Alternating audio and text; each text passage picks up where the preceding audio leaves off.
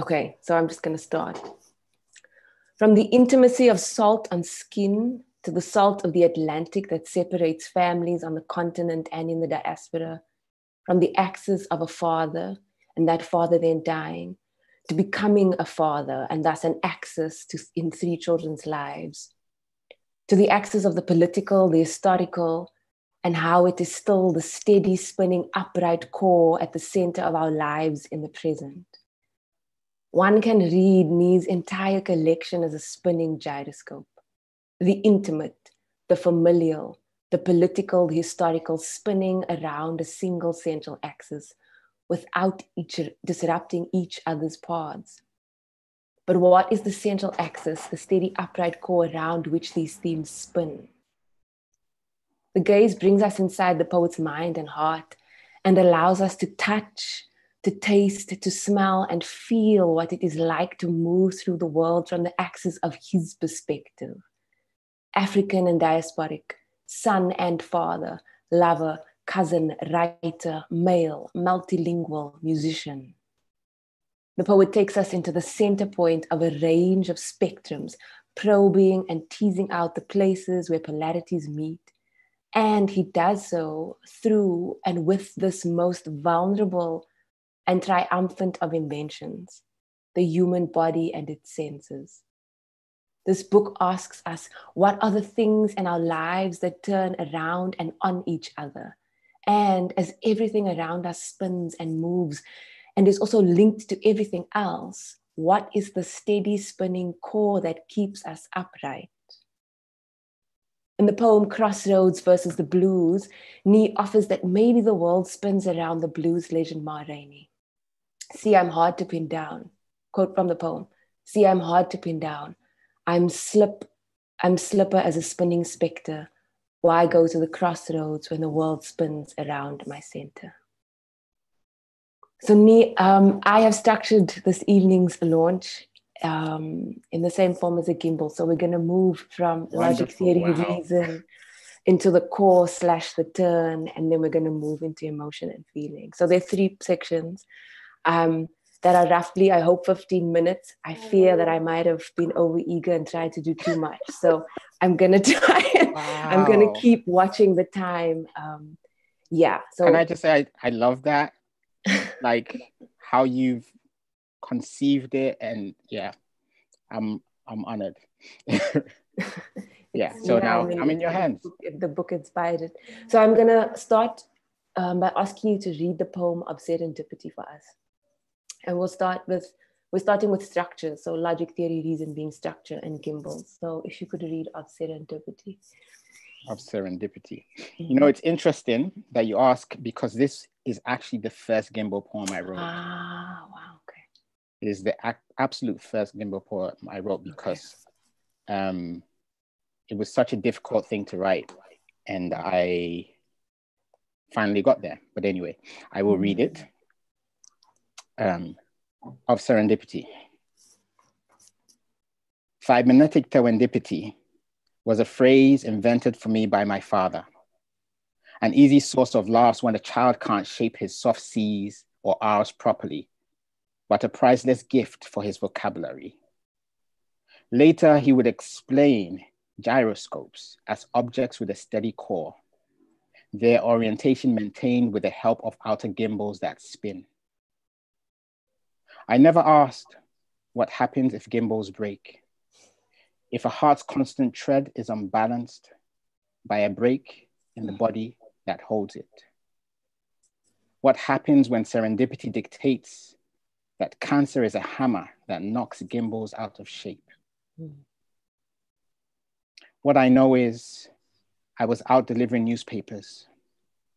The weather was icy as death. I felt my father depart at the traffic light.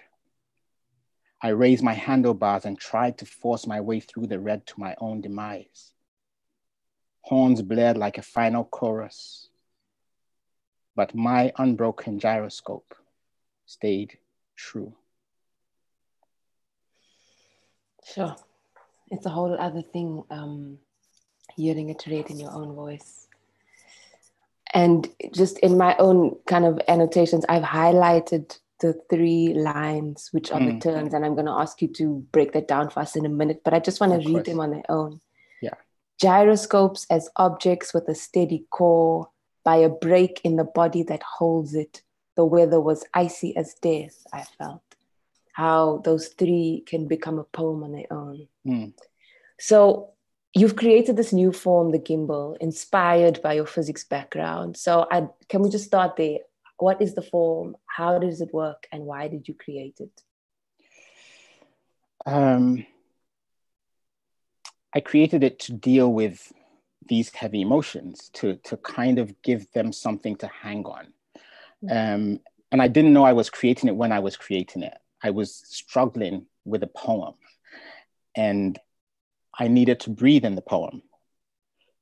And I found that these single lines gave me a pause, a place to breathe, to gather my thoughts, and to move from, let's say, the mundane things that we do. So in Ghana, when somebody dies, when people come to your house, you have to tell them over and over again what happened, right? So that becomes mechanical. It's almost a science. It's it's it's a ritual. So sometimes that delays your grief. You can't, you don't get to it until later. And so the, the form mirrors that in the sense that it's got a fairly logical opening. And then it, by the time it gets to the middle, you've got to the point where you have to start processing your emotions. The emotional part has to come through. And it's also the center because this is where you have to make the break between society and yourself or what is expected and what you need. Mm-hmm. Um, and so for me, that's the turn of the gimbal um, of the poem, um, mm-hmm. the core. And, um, and then it moves into emotion.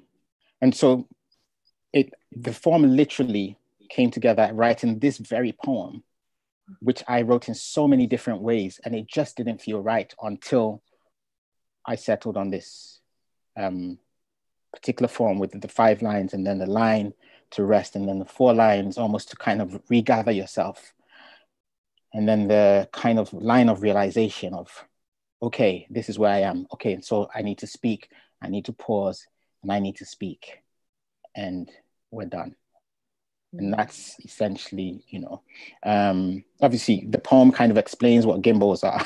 um, you know, so mm. gyroscopes are these wonderful um, objects um, I've always been fascinated with. So it's really weird. Um, but I also probably because my father told me about gyroscopes when I was quite young. Mm-hmm. Um, but it's that thing of seeing something spin and not stop, which is almost a metaphor for life, right? Because we're figuring things out all the time, but you don't have the luxury of stopping because time is a constant thread. Um, yeah, I think that's probably the most um, non-technical um, mm-hmm. explanation mm-hmm. of the form. But you know, like all forms, it comes to be through emotion, mm-hmm. and then the technical explanation comes afterwards. You know, so mm-hmm. when I wrote that um, piece on Twitter, it was me kind of synthesizing what it meant because I, I was then realizing these transitions um, mm-hmm. from the logical to the emotional. Um, I mean, I love that that the form emerged in a way, as opposed to this thing of um, setting out from the outside in to create something. It's kind of working from the inside out. And so, then what was your experience when you went to work with it again? Did you find it as easy? And the reason I ask is, um, having written one, I the thing I love about it is that it feels restrictive and at this and contain it feels restrictive and containing and containing both in the holding way and in the holding back way. Mm-hmm. and at the same time there's something about that that opens things up. Yeah. And so what was your experience when you went to work with it a second and a third time when it wasn't kind of emerging by itself? How did you find working with that process? So it was new in the sense that i had a sense of where i was going but it didn't change the emotional honesty that I needed to face it. The, the thing that I love about the gimbal, I, at least for me, I cannot write it without confronting my emotions. Mm. And I think that's because of the turn. You know, you have to find that turn mm. where there's a separation between look at what I can do with my mm. logic, with my language, and. Look at what I need to confront to live. Because it asks you that question. That line in the middle that tells you that you have to switch between logic and emotion also tells you you have to stop playing games. Right? And so for me, it's always a difficult experience, but it's it's a more familiar experience. It's almost like being a parent, you know? Every child is different. Even if you've had a child before, the next child comes along and you have to figure it out. and it's it's a bit like that. Mm, thank you. I'm so glad we're recording this because you're saying so many things that like we all need to go back to. There's like as, as one as one of the young poets I work with says, you're saying quotable things. so yeah, just yeah. things that we can go sit with. Um, and then just this last question of structure can you talk a bit about the structure of the book you know the different sections game mm. eros o zest mm. um, that come together to make up this whole the Geez um, can you just talk a little bit about that so um, you know one of the things I, I, I always teach and, and kind of profess to, to my students is the importance of writing being pleasurable so I wanted to start the collection with play. And that's what game is. Um, as much as there are very emotional poems in there, there are also poems in which you have to kind of explore form or, or I'm mm. talking about actual games like sports. Um, so I, I wanted to do that. As much as I struggle with the gimbal, there's a great pleasure when I get there because there's a huge catharsis. And so for me, there's there's there's an immense pleasure in writing one. It's it's a, it's a, it's a it's a hard journey, but it's like a it's like a road trip. You know, you, you are gonna get there and you're gonna have fun, and and I think that's what it is. Um, so I I really wanted to start with that, and then from there it felt like it was a natural transition because it was still dealing with emotional things to go into eros love because I guess, yeah, a kind of reflection of my own life. Um, I was a very playful kid that became aware of his emotions as I grew up, right? And and so the book kind of follows that. And then always um, gossip. It's about things that kind of shoot off and meet, and you know, there's a, there's a chaos but there's an order that comes as well, um, which I feel is a bit like, again, how you navigate, how friendships are formed, for instance. Most friends that you have, you don't actually know the moment when you became friends, right? You know the moment you met, but you don't know the moment when it became comfortable to go to them to say, hey, I'm struggling, right? And that was that part for me of oh it's just like and it sounds like oh as well you know? Um so I, I, there's lots of things i'm playing with. I'm playing with sound of even the title the Geez um spelled differently mirroring the the the, the script for um, the amharic language so kind of rooting it in africa. Um with the photograph again kind of playing games with the gaze um, so there's a lot of play that runs through it, but it slightly um, shifting in each section.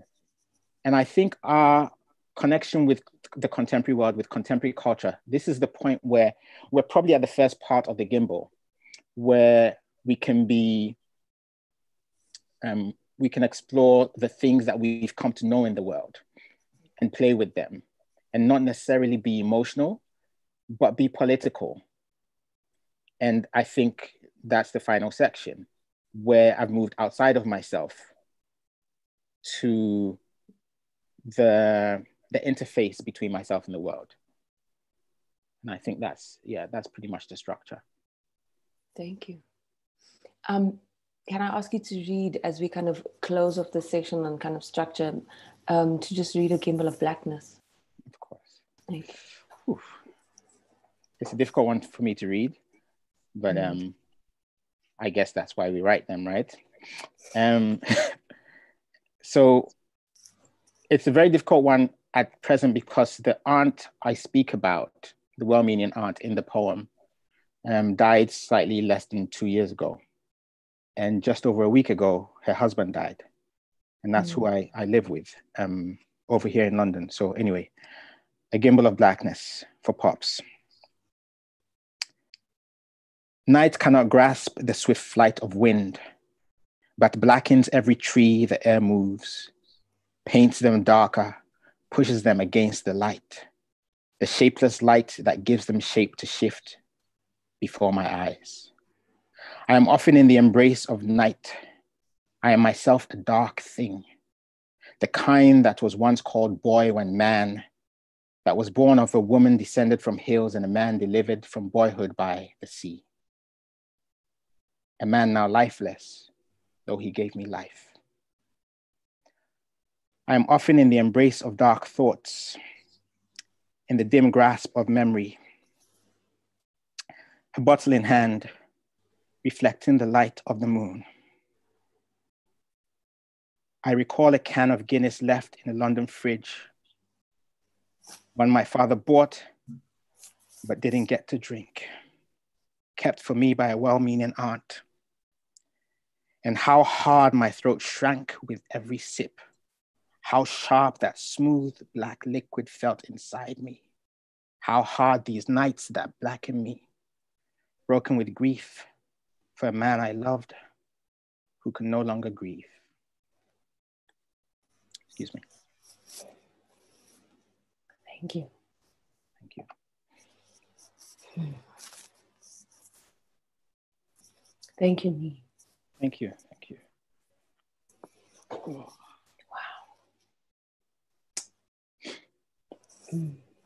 I resonated so much of that. I think it was that poem that kind of pulled me into writing the gimbal. It's the one that you shared on Twitter. Yes, it was the the, the original shared gimbal poem, but it was the second one I wrote. Mm. So yeah. Um, so yes, like that thing, it was actually harder to write in some ways than the first one, um, mm. even though it's about the same subject. Mm. Um, but it's slightly more expansive and it's more it's it's more about the grief that endures that comes back for you you know um yeah yeah and it's interesting because um i there were two reasons the poem struck me i lost my mother a few years ago and i ended up writing a gimbal that was about that experience and so mm. and so there was something about the way in which you dealt with it that just on so many levels kind of resonated so thank you thank you thank you I'm aware of time, but I'm also just going to keep going. no, but you're doing well. Um, so moving to this notion of the the core and the turn, and I, and I'm and I'm going out on a limb to say I'm going to share what I read as the core and the turn, mm-hmm. and it might not be what others do. And I think the beauty of this book is that each of us will find for us what the core and the turn is for us. And so I'm going to quote, I can't remember which poem this is from, I forgot to write it down. I'm going to just quote from three different poems. One, thus the body is echo chamber and memory, all its parts, triggers, every bruise, history, melody. And then from a concise geography of heartbreak from the section physical, you will compose an anthem and sing it like an orgasm. And then from the poem, Our Love is Here to Stay, the secret is to listen to the slow creeping embrace of the trumpet's protest, the percussive defiance of the piano's syncopation, the indrawn breaths the song learns the body that it sings, that sings it. I want to say that everything in this collection turns on the, on the experience of being in the body. The mm. words brow, breastbone, collarbone, sweat, spit, suck, chest, goosebumps, lips, tongue, kiss, caress, and numerous others are in every corner, crevice, and breadth of this book. The body is the way through which we experience love and intimacy in all their forms. The body is the way through which our histories are still alive in the present. But I feel like you are not writing about the body as so many kind mm. of poets do. You take us inside it, you give us a visceral experience. And that really struck me and it stayed with me because it draws us in and it makes us able to touch and feel every moment and idea. And so, what I'd like to ask is if you could please read Caress. I'm going to have to um, just ask you to read Caress 1 because we're short because of time. Okay. Caress.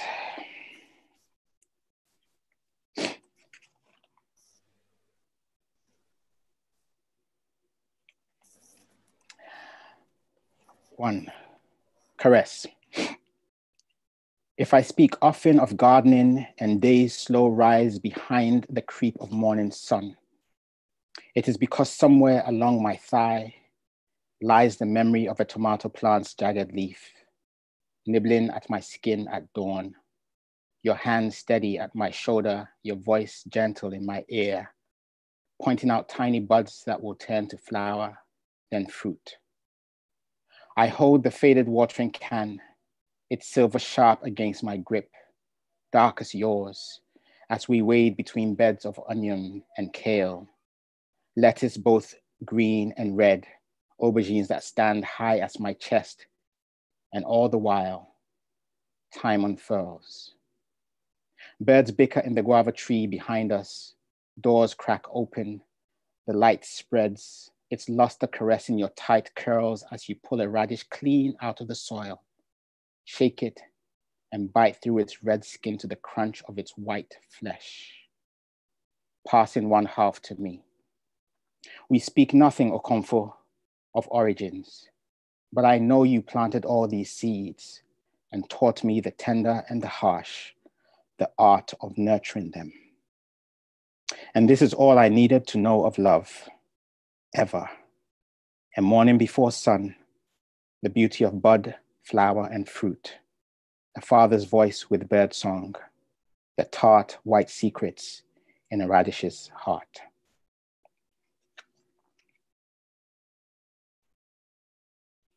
Thank you. This is a poem that was really fun to write. Um, because it, it shifts quite a lot.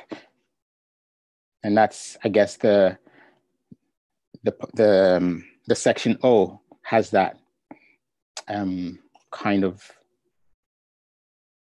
latitude to jump. Yeah. Oh, hold on. Thanks. Um, and so, was writing through the body in such a visceral way an intentional choice? I don't know that it was an intentional choice. Maybe it's just the way that I experience the world. Mm. Um, I am very much in tune with my body. I mean, um, I'm rarely ill, mm. and that's because when there's a weakness coming, I get cravings and I eat stuff, and you know, so I, I think there is a part of me that's very in tune mm. with my body. When I was a kid, um, growing up in Ghana, I would be in a room and I'd turn to a corner and I'd see an ant. Literally, the only other living thing in the room, I would spot it. Um, and I just had experiences like that all the time. And so I think my experience of the world is very much to do with being in touch with my senses. And when I'm when that's numb, then I, I don't feel like myself. Mm. Yeah. It's also why I don't like wearing being in England because I have to wear jackets all the time. and then I feel like there's there's a barrier between me and the world. Um, yeah. Yeah. Yeah. Sure. That's yeah, that's really it's um it's really felt in the work. Mm. Um because I think you know when you experience poems, you can feel when someone's trying at something versus when someone's living something through a poem yeah and there's definitely a sense of living through and it feels like we're right there with you in every in every breath in every moment in every um, realization it feels like we're kind of standing next to you you know as yeah. we read them thank you i think it's probably because i'm also going through the realization as i'm writing it so yeah. Yeah. As poems are one to do. and so then the next question around this notion of um, uh, body is, and the visceral, the word and the theme of salt also keeps spinning back around. Mm. And so I want to read a few, um, and I use spinning intentionally salt as mineral, salt of the body, salt of the mm-hmm. ocean. Mm. And I want to just read a few kind of um, instances I found, and I'm going to read them and, and then ask you to answer why salt. Okay. So from the poem One Night We Hold, two bodies moved by hands to the melting point of sodium. We are salt separating into its elements. We are Lot's nameless wife reclaiming our story. If nobody else looked back, everything is a rumor. We are sweat without words. How it feels is a held breath. And then um, from the poem that's 35% written in Ga, so I cannot pronounce the title. Country Akashwe add not salt to my pain. Mm-hmm. From the poem Bottle, terrified of seeding hopes I could not suckle, the salt charged taste of her, rum that smolders still in the back of my throat. From uh, 11 page letter, the sea between us is common salt. From defenses, how you can never tell how much salt hides in a tear or a drop of sweat without letting it ride the ridges of your tongue. And if the heart pumps blood and blood is 92% water, how much salt will sour a heart? Why salt? Um, I wish there was a logical reason for it. um, I, I, I can only say that we are affected by things in ways that we, we don't realize only in hindsight. If you, I mean, I know there's a bit of salt in there, but when you're reading, I just thinking to myself, that's quite a lot. But I am, I am from a from a family um, that were were traditionally fishermen in Ghana, so mm. we do have a very strong relationship with the sea mm. And salt. You salt fish to store it. You know, there's um, the, there are parts in Accra where we kind of you win salt. You know, in in in um in kind of um swampy, salty areas and stuff like that. So there's a lot of salt around. Um, and when we were growing up, one of the the chants you would hear on the street and and, and you know during the day is people selling salt. Um, and you just hear yes, table salt, table salt, table salt. So there's there's a lot of salt, I guess, in my subconscious. Um, but I've also, again, you know, so I often say this to people and, and they're surprised because I'm such a, a model agnostic now. Um, when I was um, when I was um, you know around 13, 14, I actually, you know, I was heavily into the Bible. I used to preach and stuff like that, you know. Um, I feel like all good poets started out in the church. Probably. Um, and um, but you know the story of lot's wife was always like a weird one for me because i'm, I'm also so logical. So i'm like so who could tell she turned to salt? Because if you look back you turn to salt right? So that's why that whole thing about it being rumor. And so you know there are all kinds of things. I i you know yeah i was always the kid who was like nah that story doesn't make sense you know so i think i was already primed before I made Muslim and Buddhist friends to kind of question the whole thing and, and the fire and damnation and um, yeah. And also, you know, you, you sweat a lot in Ghana. yeah. yeah. Thank you. Um, I am going to ask you to read caress eight as a way of moving us from this section of the body into the final, which is emotion feeling. And for that, I'm gonna we're looking at intimacy. So if you could read caress eight as a way of turning us into from the body into intimacy. You you have lived with these poems. Thank you. So caress eight. Absence is silence he has learned to endure. But sometimes it breaks his faith in his own existence, makes him rephrase questions. If a tree falls in a forest and you don't hear it, do you exist? Maybe this is why he hums against the wood of his own headboard. Why it is no surprise that Amazing Grace is the song an agnostic chooses to learn to play on his new trumpet.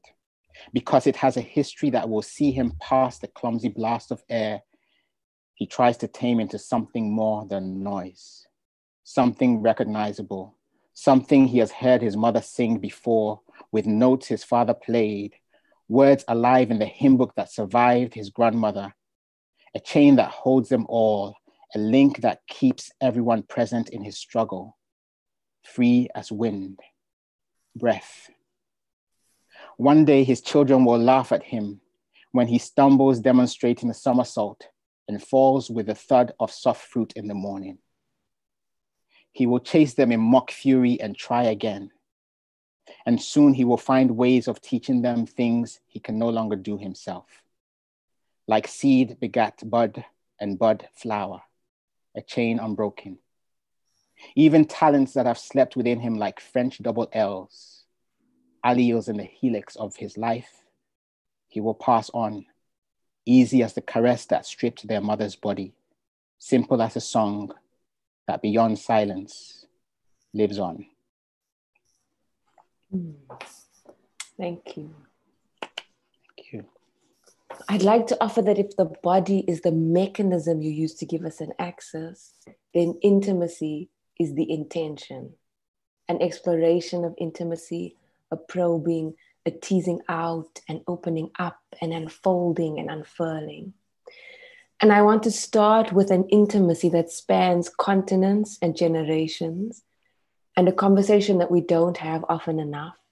Um, and maybe before we go there, just to say the book really sits with intimacy in all its forms between mm. parent and child, um, between friends, between lovers, um, between self and the world, between self and history, and, and the intimacies between inanimate things um, and between kind of things that we can't touch, intangible things, but that are so deeply um, impacting on our lives, our histories, our stories. Um, and so I want to start with an intimacy, like I said, that spans continents and generations, and one that in the book you say yourself is a conversation that we don't have often enough. Yeah. The relationship between those of us from the continent and our family in the diaspora. And so to kind of start that conversation, I'm going to ask if you could read from the 11 page letter to Anyemi Akpa, and if you could read parts um, 4, 5, 6, 7, 8, 10, and 11. And okay. I know this might stretch us for time, but I feel each of those particular sections speak to this this um, this conversation quite directly, and it would give yeah. us quite you know, a bit to hang off. So. Okay, thank you. Um, so so it's four to eight and then 10 and 11. Exactly. Thank yeah. you. okay. Um, four earth, wind, water.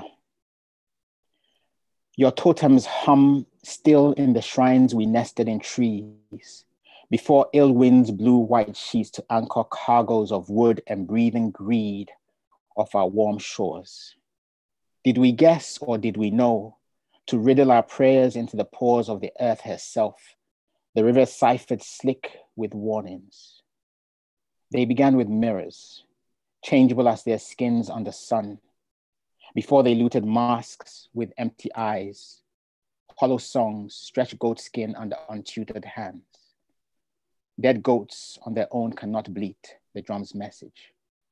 All the earth's miles can't sever song from your tongue. I see your offspring dance our river's skin. Fire. I will not speak of fire. You did not burn. Let me.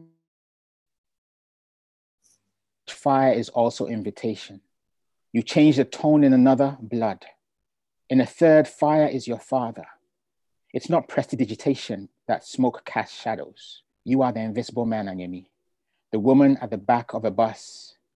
I am the one who reclaimed my name. I'm my father's second son. If I'm missing, the first will be questioned. This is how our absence was marked. Girls and boys eating with twin names, no one to watch. Fingers squeezing oto, but too distracted to know its fire. An antelope with a single antler carries pain in the neck. Six, bones. Achingly, a folded wing, I'm a boomerang in black soil. Before I returned to the hem of our rivers, I believed we had been forgotten. But how could we be?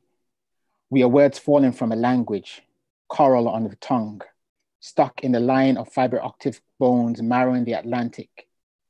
Pentatonic notes are key clue. Listen to the melody.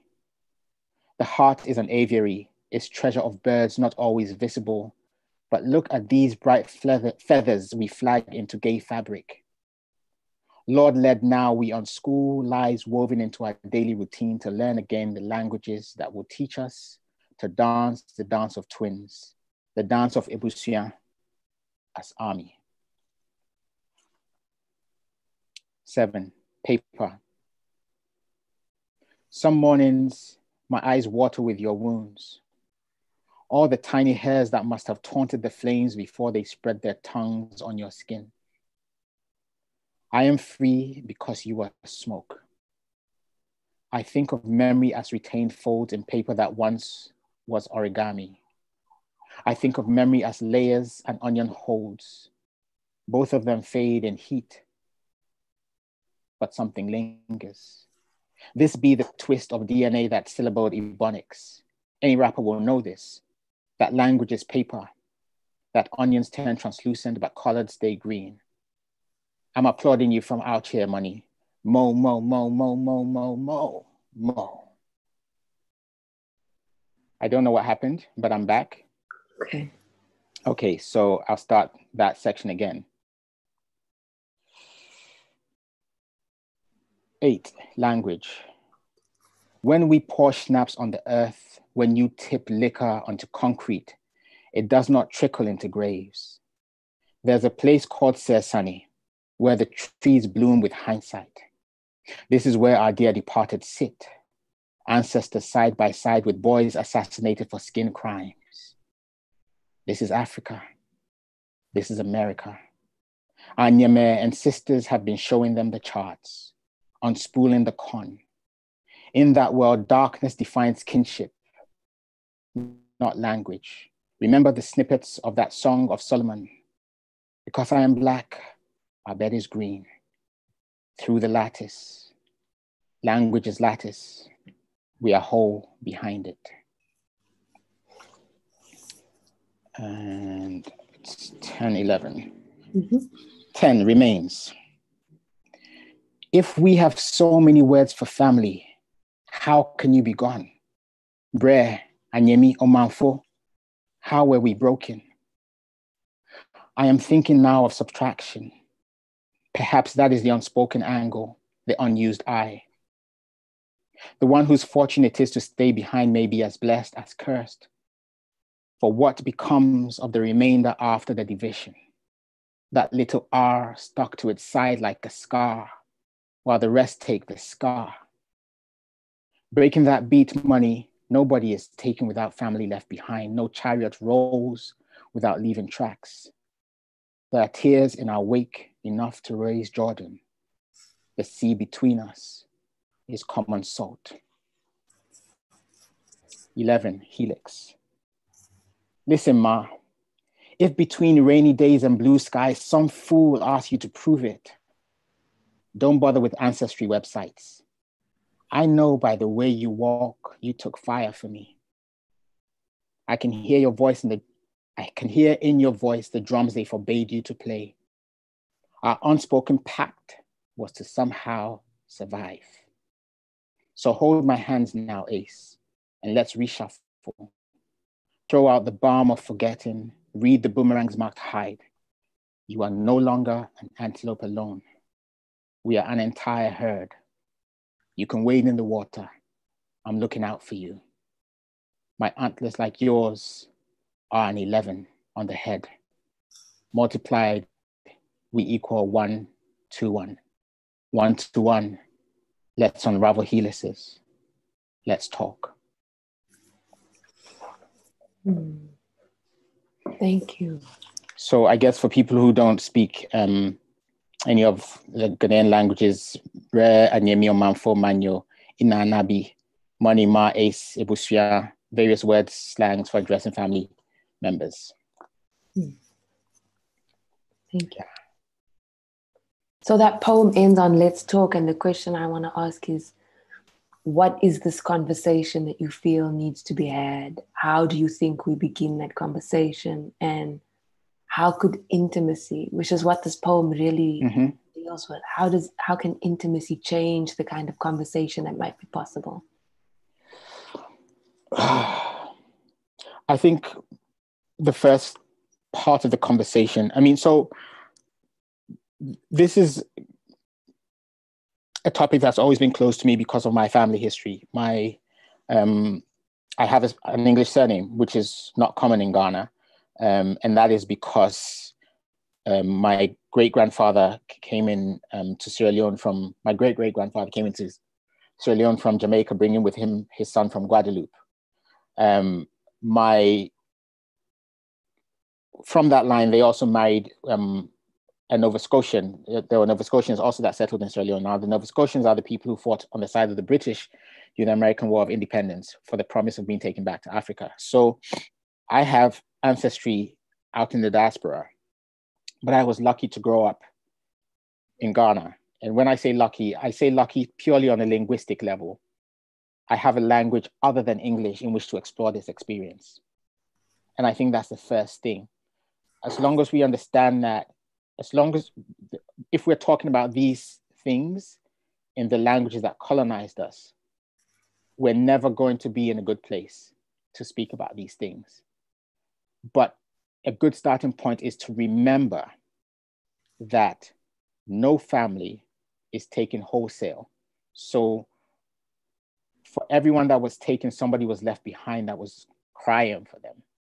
And there's a trauma that remains on the continent that we don't speak about because we have also been taught that our emergence from post colonialism is to forget and just claw back and get money, right?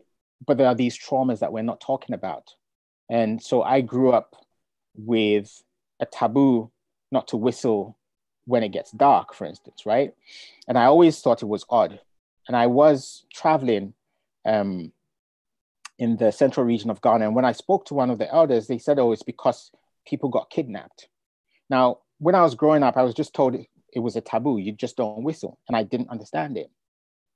But now, putting that together, I realized this is because people knew that people were kidnapping people to be shipped abroad as slaves. So we, we have taboos that tell us that we need to be fearful. Mm-hmm. Um, and we haven't process that. So these traumas are there and we need to process them. So I think the first thing and the first step that is easy to do, that's easy to do, is for us to know that there, there is the remainder. Mm. So let's not go with the narrative of you sold us, you left us behind, because even the narrative, the, the idea that we are kin because of the color of our skins is a new thing that came after exploitation of course, having reached where we are, we just have to accept it. But our intertwining relationships were governed by something way more complex than the color of skin.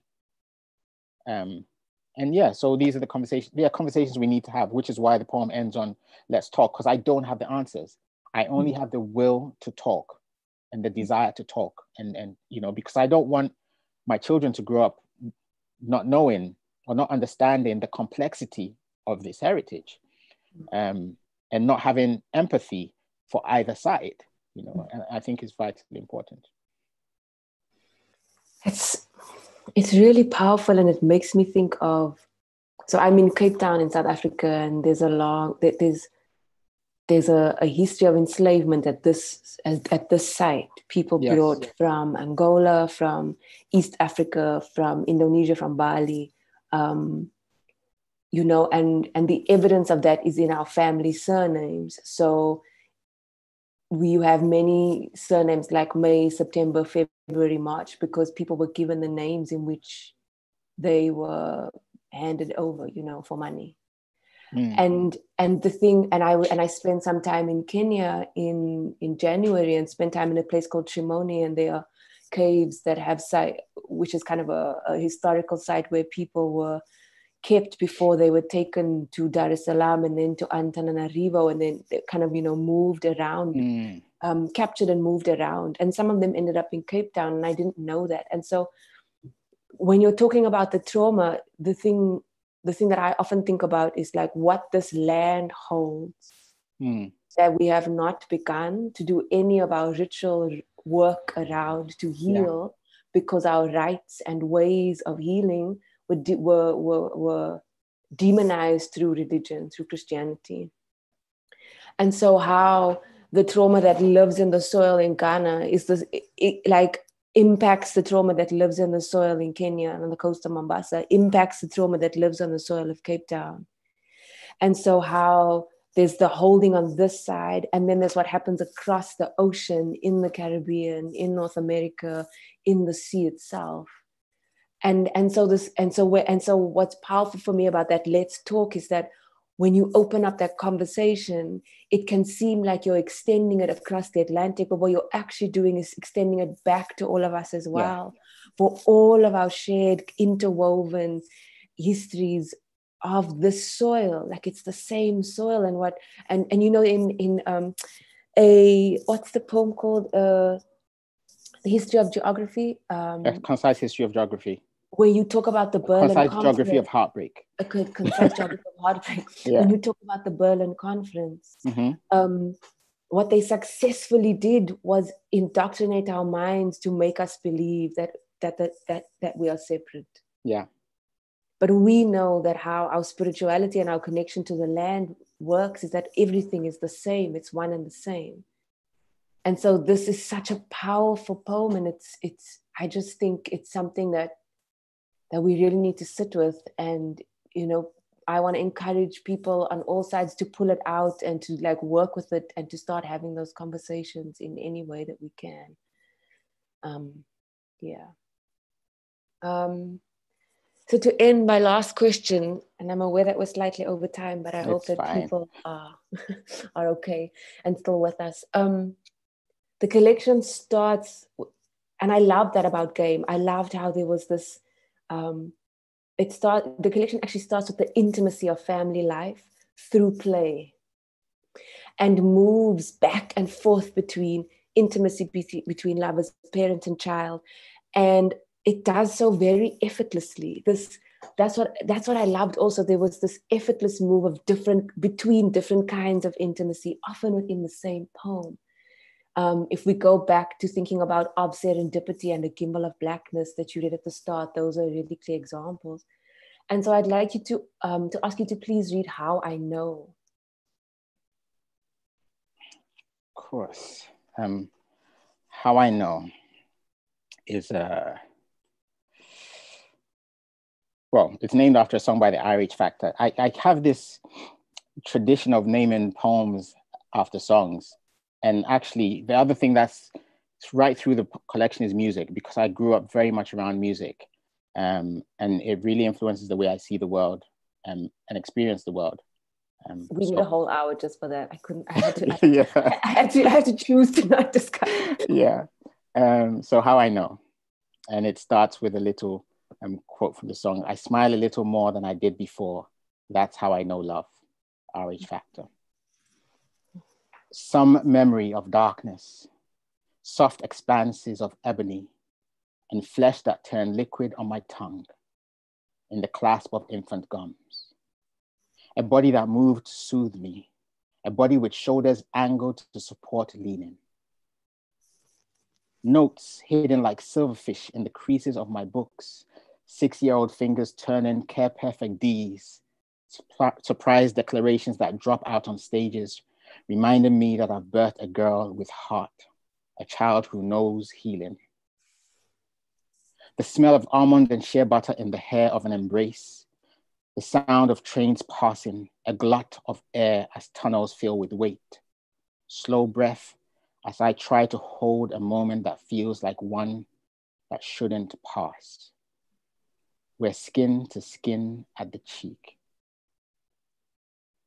A boy's smile that emerges as his mother's door closes, his hands reaching for the learned angle of my shoulder, the circumference of my neck, soon in the clasp of his thighs, monkey bar antics fading as a girl warms my cheek with her small hand. This is how my dad felt, perhaps. All I remember is fleeting, but I recall the scratch of a pin on shellac, the wound of Mahalia's voice rising to fill a house, the weight of his arm around my neck, the whisper of a smile moving the wood of his skin, his voice saying, Listen. In the poetry section of a bookshop, my hand in the crease of an anthology of Brazilian poets, Lost in the black joy of word after apt word, I lift my eyes and see the woman who said yes to dinner. She moves, and my mouth is wide. Between us, a field of teeth straining to do more than just smile. Mm. Thank you. And so I'd like to ask you to talk to us about these movements between these intimacies, how they and how and why they meld together for you so effortlessly, because that's what they they feel like. They feel effortless, mm. this movement between one kind of intimacy and the next. Um, I think as I've grown older, um,